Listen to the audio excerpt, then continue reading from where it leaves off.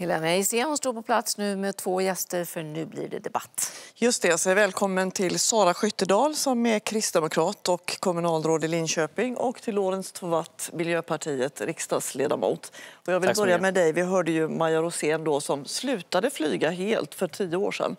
Är det verkligen rätt väg att gå? Ja, för Maja verkar det vara det och jag tycker att hon är en väldigt god förebild på så sätt. Och jag tycker att fler borde fundera på det.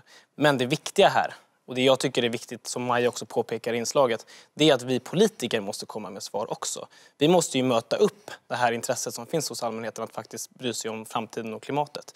Så därför blir det upp till oss att faktiskt också leverera politiska förslag. Vad säger du Sara Skyttedal? Du har sagt att det är onödigt att sluta flyga. Varför det? Nej, men I grund och botten är flyga någonting positivt. Och därför så tycker jag att det är synd att eh, personer som Maja och andra går på den här propagandan om att det är flygandet som ska minska istället för flygets utsläpp. Det är inte samma sak. Eh, och det finns ju faktiskt ingenting, och det är man lite inne på i inslaget här också, som tyder på att flygandet i framtiden kommer minska. Snarare tvärtom.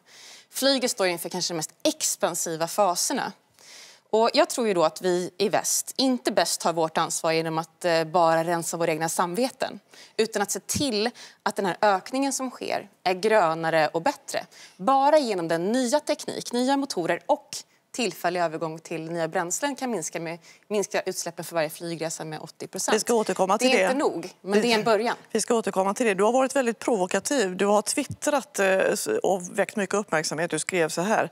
Eh, jag tänker så här, flyg mer. Det finns så många dumpuckon som bojkottar flyget att förutsättningarna för bolagen att investera i ny grön teknik försämras. Jag flyger därför några extra gånger. Det är min klimatkompensation.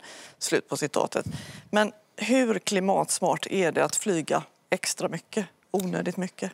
Jag önskar ju att eh, den här regeringen hade satsat pengar på omställning av flyget. Istället för så lägger man ju pengar på att eh, straffa flygandet i sig oavsett vad flygresan ger för utsläpp. Det finns ju flygbolag som investerar i ny teknik. Och min poäng här är att eftersom eh, regeringen inte lägger en enda krona för att göra flyget grönare så tycker jag att eh, det är bättre att gynna branschen som är de som står för investeringarna i forskning, i omställning. Vad säger du, Lorentz Tovatt, om det? Flyget behöver pengar för att kunna investera i grön teknik. Ja, men alltså, det blir ganska bisarrt här för att eh, Sara Skyttedal representerar alltså en åsikt att dels ska inte du som individ ta ansvar och dels ska inte politiken ta ansvar. Nej, det och det är liksom ganska bisarrt med tanke på att vi ser nu att forskare säger att de är chockade chockade över hur varmt Arktis är just nu. Det är liksom ovanligheter som är helt bizarra just nu. Och då tycker Sara Skyttedal att man inte, som varken som individ, då är man dumpuck om man som individ tar ansvar för det här. Och tycker inte heller att politiken ska göra det. Sen, sen ljuger Sara Skyttedal här. Vi satsar pengar på just grönt bränsle och nu har vi precis tillsatt en utredning om hur vi ska kunna tvinga in mer eh, förnybart i Men gör ni tillräckligt?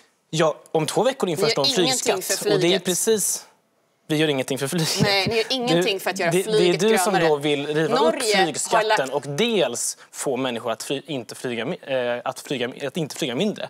Det blir ganska bisarrt äh, på, påstående att liksom vi inte skulle göra någonting. Tvärtom. Jag tycker att du vill ska... riva upp flygskatten, det enda styrmedel som faktiskt har effekt. Nej, styrmedlet flygskatt har ingen effekt. Det minskar inte utsläppet överhuvudtaget eftersom flyget ingår i utsläppsrättshandeln. Men vad vill du se för åtgärder? Jag vill gärna se att man har äh, ett skatteincitament som gynnar omställning, till exempel ett bonus-malus-system för, eh, för flygindustrin där man ger morötter till de som ställer om och lite piskor till de som inte gör det. Men expertisen är ju ganska enig om att det är väldigt svårt att få till det här. Som vi hörde också i faktainslaget här så är det väldigt svårt med biobränsle till exempel. Det är och, bara en del. Och elflyg anses av många experter som eh, väldigt svårt att förverkliga.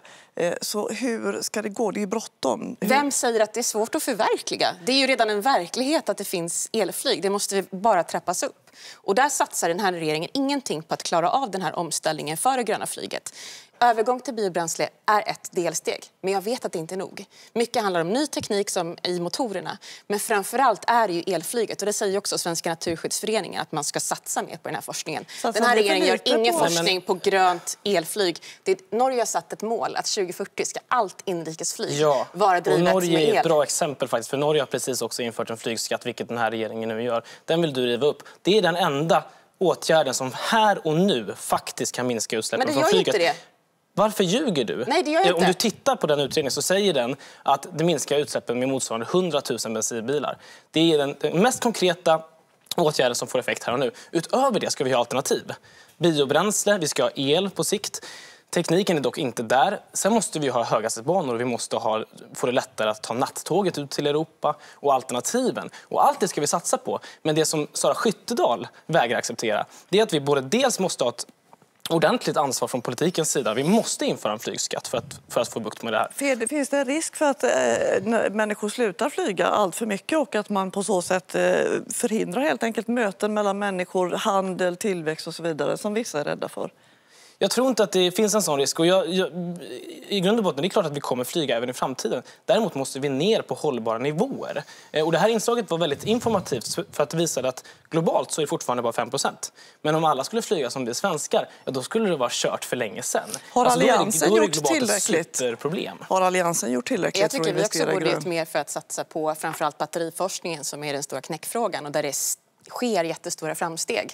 Men jag tycker att det är så viktigt att politiken tar ansvar på riktigt. Och just nu så gör den rödgröna regeringen bara reformer som handlar om att rena sina egna samveten, rädda samveten istället för att rädda klimatet. Vi har ett ansvar i väst. Vi har inte tagit det, men det gör vi bäst genom att satsa på ny teknik och inte tro och att, att andra länder... Och att ta bort den enda åtgärden som funkar, flygskatten, det är Jag får tacka er så hemskt mycket för att ni kom hit. Det får bli sista Tack. ordet i den här debatten. Anna?